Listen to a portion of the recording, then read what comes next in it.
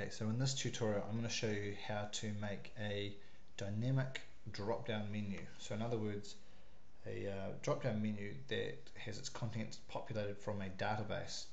Now to start with, what I've got is uh, a website one of my students built, and in the drop-down menu we've hard-coded in the uh, options. So under menu we've got appetizers and mains.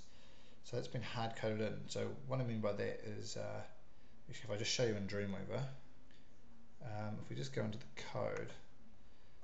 Under menu so this is remember how uh, Dreamweaver copes with uh, the drop downs in its spry it uses um, lists. So there's the uh, list item there for uh, if I go across menu and underneath it we have a nested list an unordered list there and there's appetizers and mains. Now what I want though is a little query that I'm going to write that goes and grabs back all the courses from the database and we're going to put a loop in there that displays them all. Now um, I'll just show you what the uh, database looks like. So currently what I've got uh, in my courses table I have two columns, the course ID number and CNAME which stands for course name and there are the eight different courses we have. So when we finish we should have eight options dropping down. So back in back in Dreamweaver, uh, I'm just going to run the the query at the top of the page here that is going to go to my database and retrieve all that course information from that table. Right, there we go. Uh, now, just to walk you through that as I've just quickly pasted it in there, um, what I've done is I've just set up a variable. Now, I tend to do it this way. Well, obviously, variables start with a dollar sign in PHP, and this is relating to the courses from my menu and um, I just set up the actual SQL query. I just call it courses underscore SQL so there's the query. Select everything from the courses table. Now remember that goes in speech marks ends in a semicolon. Now my next line I uh, run the query. So dollar sign courses underscore query equals. And MySQL underscore query is an inbuilt PHP command to run this query. The query that I want to run is this thing here courses underscore SQL, which is from the line above, right there in red. Or die just means stop running any more PHP if this fails. Now the last thing I do is I actually take the results of that query and I put them into what's called an associative array with this command, mysql fetch assoc.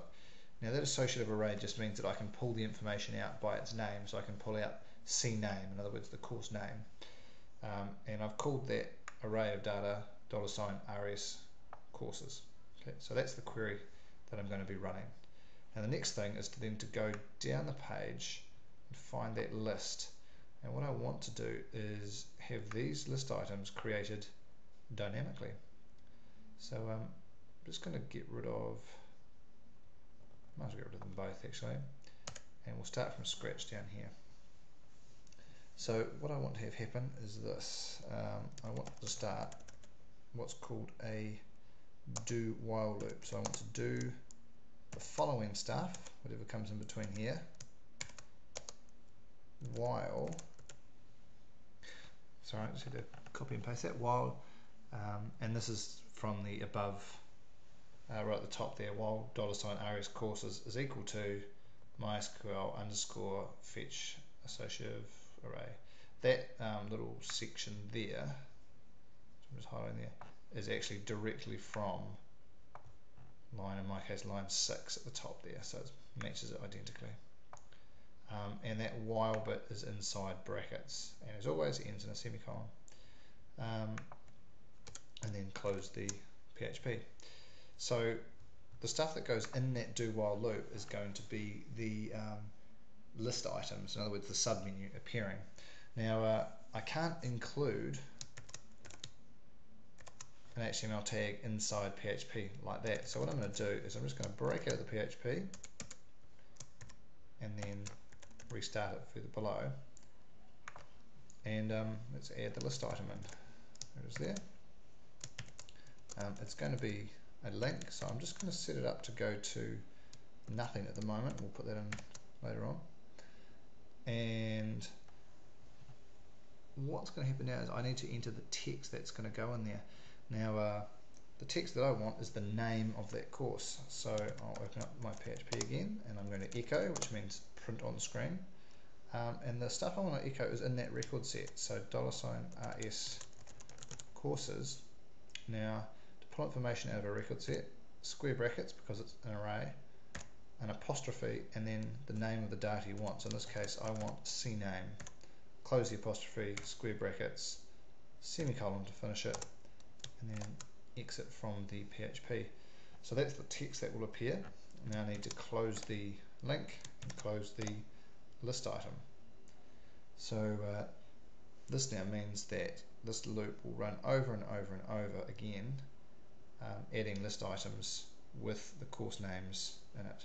Now none of them are actually going to link anywhere, so we probably need to set that link up also, otherwise there's not much point having them.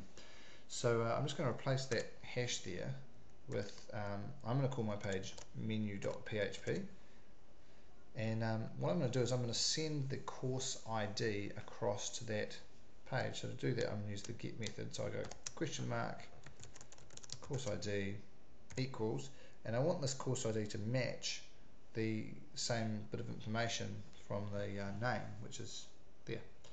So what I'm going to do is use PHP for that again. So I'll just open that up. So there's my less than question mark PHP. I'm going to echo, and again this data is in that record set, so dollar sign res courses.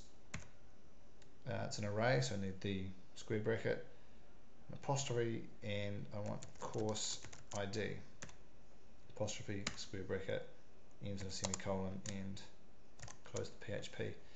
So uh, remember this course ID comes from our database as does CNAME. Those are the two column headings. So I'm just going to save that and we'll test it and see how we get on. Alright, so fingers crossed here. Um, when I roll over menu, oh excellent.